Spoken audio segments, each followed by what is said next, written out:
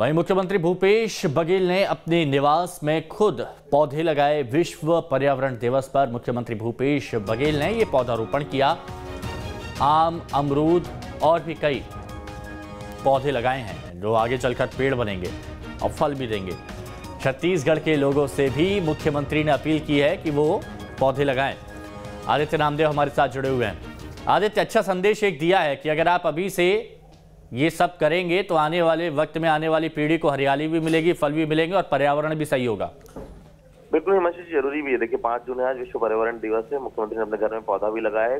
देखिए, जिस प्रकार से वायु प्रदूषण हो रहा है, जिस प्रकार से जलवायु में परिवर्तन हो रहा है, जिस प्रकार से अधिकतर समय, मौसम में ऐसा परिवर्तन हो रहा है जो पहले काफ़ी साल देखने को नहीं मिला। तो जलवायु का कहीं ना कहीं परिवर्तन, कहीं ना कहीं हमारे द्वारा जो पर्यावरण को जो नुकसान पहुँचाया गया, उसकी परिणति हम झेल रहे हैं। ये हमने अपील की है सबसे पेड़ लगाने की, और देखिए ज़रूरी भी है, कम से कम आज के दिन ही लोग अगर एक पेड़ लगा देंगे तो आने वाले समय में छत्तीसगढ़ नहीं, पूरे देश में अगर ये चीज़ें होंगी तो पर्यावरण सुरक्षित भी रहेगा, शुद्ध ऑक्सीजन भी मिल सकेगी, और पेड़ लगे होने से आम लोगों को देखिए राहत भी मिलती, गर्मी में छाव भी मिलती है, सभी तरह की चीज़ें मिलती है तो ज़रूरी भी एक एक पेड़ सभी लोग लगाएँ, हम भी ये सभी से निवेदन करते हैं।